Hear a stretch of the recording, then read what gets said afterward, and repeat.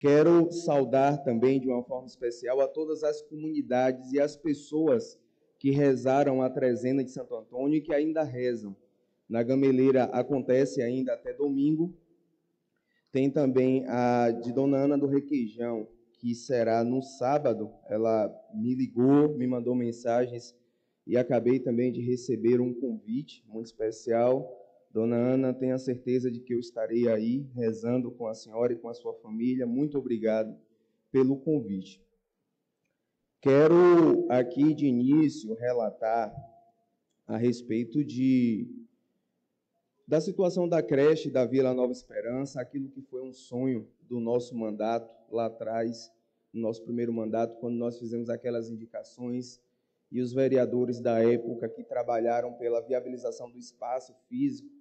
A vereadora Flávia está aqui presente e lembra que houve uma substituição do terreno para adequação do projeto e nós tivemos que trabalhar em tempo célere para garantir a construção daquele equipamento e que está abandonado hoje, trazendo problemas para as pessoas que moram naquele lugar, tanto na questão de saúde, né, com os focos lá de, de dengue que estão lá, lixo espalhado, também aquele espaço que deveria ser um espaço de formação de pessoas, de inclusão social, hoje é um espaço que está sendo utilizado para uso de drogas, também para outras atividades ilícitas. Então, mais uma vez eu vou usar da tribuna dessa casa para pedir providências à prefeita Tânia que concluam aquelas creches que estão aí na cidade paralisadas, inclusive há um tempo atrás eu sugeri aqui que fizéssemos uma comissão para acompanhar as obras paralisadas que se encontram na nossa cidade, que são muitas obras. Recentemente, a prefeita Tânia Yoshida anunciou a construção de uma creche 24 horas, só que não concluiu as que já existem no município, que estão em andamento. Então, é uma responsabilidade do gestor também cumprir com a programação, os PPAs, a LDO e o que foi é, é, iniciado na cidade, que está lá descrito no orçamento público.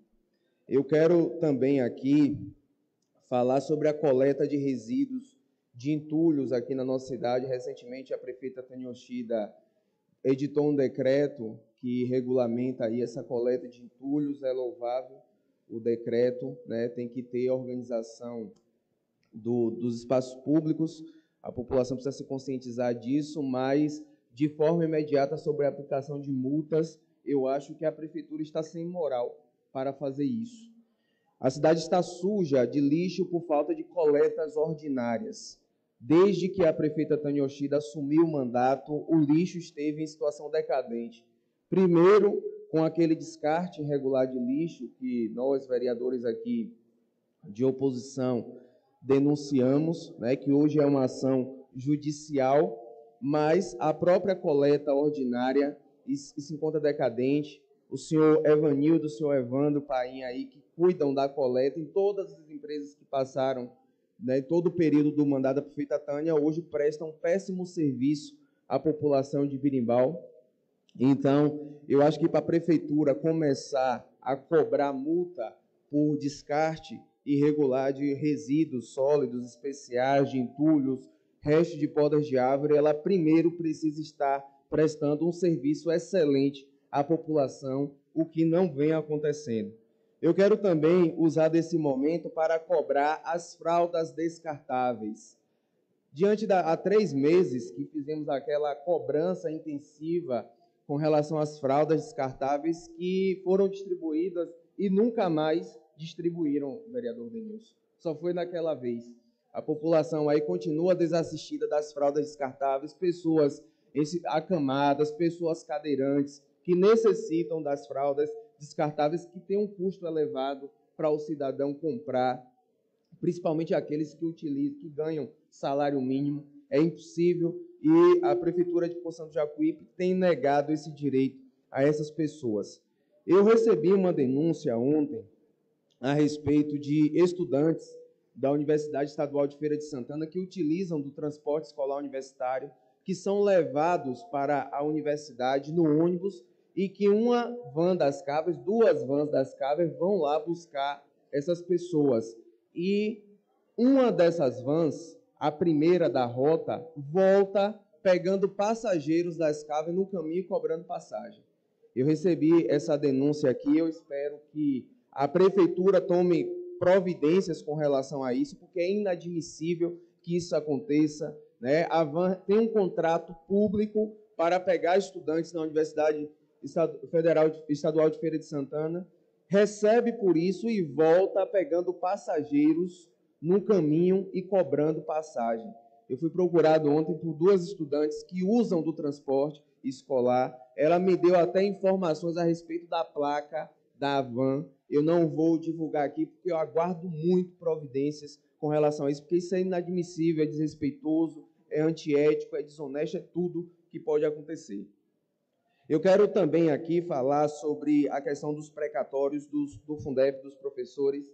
A prefeita Tânia Oshida, cumprindo tabela, publicou no Diário Oficial uma nota, né, que eu nunca vi publicar nota em Diário Oficial, mas a prefeita é muito bem assessorada, ela sabe o que faz, mas que não disse nada com nada. A real é que ela encontrou 7 milhões 250 mil reais na conta da educação.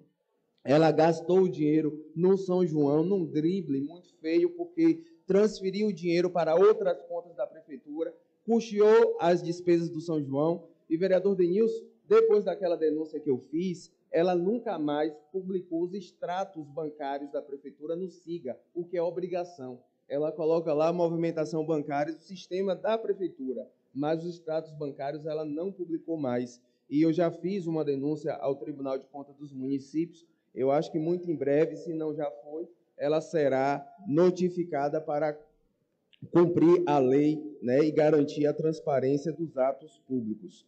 Eu quero também aqui falar a respeito daquela obra que acontece ali no loteamento ao lado do Primitiva, uma obra extremamente necessária. Eu tive uma casa naquele, naquele loteamento e eu cheguei a morar nessa casa, acabei vendendo porque era uma área sem infraestrutura, uma, uma, uma área abandonada. A prefeita Tânia conseguiu levar uma obra para lá, mas o calçamento está cedendo e a gente não consegue maiores informações porque a obra não tem placa pública. Essa semana eu tive informação de que aquela obra seria executada pela Codevasf, né, que é a Companhia de Desenvolvimento do Vale do São Francisco, mas entrei no site da Codevasf em busca de informações do contrato, não encontrei. A prefeitura também não publicou nada a respeito e o pior de tudo, não colocou a placa de identificação da obra, o que é muito importante em todas as obras públicas. Então, diante da qualidade do serviço que está sendo prestado naquele lugar, nós precisamos saber quem são os financiadores da obra, cobrar da prefeitura que tenha um trato com as pessoas daquele lugar, porque aquele loteamento ali é o mais fácil da cidade de se executar drenagem, né? Porque é um terreno acidentado e que tem ao lado ali lugar para escoar as águas pluviais.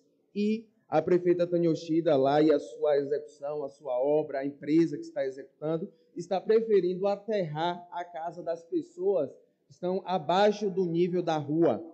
Isso, vereador, seja-se cruel, porque todo mundo tem um sonho da casa própria, aquele loteamento aqui, ali. Eu lembro que quando eu comprei um terreno ali, eu pagava 120 reais por mês, era a condição que tinha para comprar um lote naquele lugar.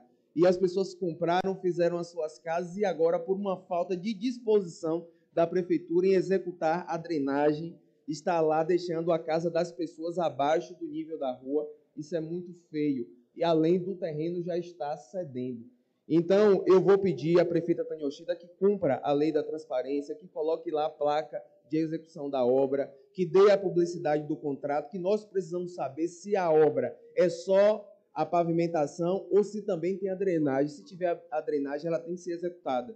Estarei oficiando a prefeitura hoje essa busca de informações para que a gente é, dê satisfações à população daquele lugar. Eu quero agora também, só para finalizar, falar sobre a audiência que a prefeita Tânia Yoshida fez na semana passada a respeito da REURB, né, que é um, um projeto, um programa do governo federal lançado em 2017 sobre regularização fundiária. Né?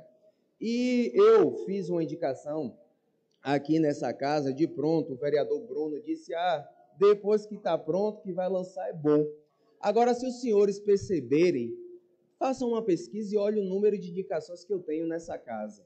Né? São mínimas porque as, as indicações elas não acontecem e eu procuro indicar coisas reais. Uma coisa absurda que eu vejo acontecer aqui nessa casa são vereadores disputando paternidade de indicações. Eu já vi colegas aqui brigando por isso, discutir paternidade de indicações. Deixa eu dizer uma coisa para os senhores. Há mais de um ano eu discuto o REURB com Marina. Marina, que é filha do ex-presidente dessa casa, Júnior de Totinho, que inclusive tem uma empresa que faz REURB, executa REURB em outros estados aqui, em outros municípios aqui da Bahia. Ela, de forma insistente, tentou marcar uma reunião com a Procuradoria do município há mais de um ano, buscando um entendimento para que o município fizesse apenas a adesão ao REURB, que acontece junto ao Ministério das Cidades, para que pudesse começar a executar a obra ou pela parte social, ou pela parte específica, que são as especificidades do projeto, e eu convido os senhores a buscarem entender sobre isso. Já tratei diretamente de REURB com a doutora Frigg, que é a chefe do cartório de registro de imóveis aqui na cidade há muito tempo. E, na verdade, a prefeita Tânia Yoshida tomou as providências da REURB quando viu que ele iria acontecer sem o aval dela. Um exemplo disso são cidades, não precisa muito longe, não. Coração de Maria, por exemplo, vai começar a executar REURB por iniciativa do próprio Tribunal de Justiça. Né? O município não está entrando com nada financeiramente, porque o tribunal tem interesse disso. Primeiro, que o REURB ele traz diversos benefícios para a população, para a cidade em si, porque aumenta a arrecadação de IPTU, uma vez que os imóveis são regularizados, eles passam a arrecadar com IPTU e também sobe o índice de comercialização desses imóveis a preço justo. Né? Então, REURB serve para muitas coisas. O vereador Denilson estava na audiência comigo e mencionou a autoria da indicação minha a respeito disso. A prefeita Tânia pegou no microfone muito acalorada, mas ela se controlou e aí foi reivindicar eu sempre fui muito orientado pela minha mãe, o vereador Denilson, a gente ir para a casa dos outros e respeitar. Eu não daria essa resposta ela lá e buscaria embate com a prefeita no ambiente dela, certo? Mas assim, eu não reivindico paternidade de REURB, eu só torço que minha cidade cresça que dê certo da melhor forma possível. REURB é uma política pública de regularização fundiária necessária para todas as cidades da Bahia. Tem uma parte social muito bonita que acontece pela REURB, que é é, executada por assistente social. Eu conheço o projeto, já trabalhei de perto, sei do que estou falando e busquei por isso. Então, não reivindiquei, que isso fique muito claro. Né? Agradeço a Vossa Excelência pela menção do meu nome, né? e eu não busquei isso, e inclusive foi um, uma, uma insistência muito forte para que eu estivesse lá. A prefeitura mandou convite na minha casa, mandou aqui, lá na minha casa disseram, manda ele ir, que é de projeto dele, para quando chegar lá ser hostilizado, eu não entendi o porquê. Né? Então, educação fica para quem tem. E também muito importante para falar a respeito do São João de Birimbau. De início não tinha dinheiro, foi Ministério Público, TAC, e agora começaram a, a aparecer bandas de carnaval no São João. Eu vi ontem, vi, vi dizer que vai ter seu erótico. Seu erótico vai cantar no São João de Birimbau. Tem a tardezinha do GG, né, também que vai tocar. Então, assim, a gente fica sem entender da tradição de berimbau que foi perdida. Eu acho que o menino se empolgou. Eu acho que se empolgou, tá, tá tornando uma festa cultural de São João uma festa de pagode. Eu quero agradecer a todos os senhores pela atenção, desejar uma excelente sessão e até a próxima semana.